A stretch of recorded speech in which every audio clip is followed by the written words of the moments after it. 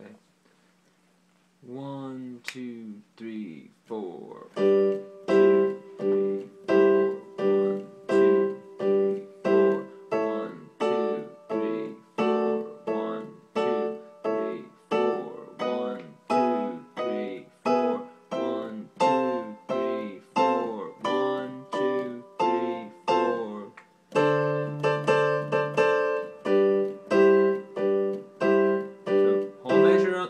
two measures on A,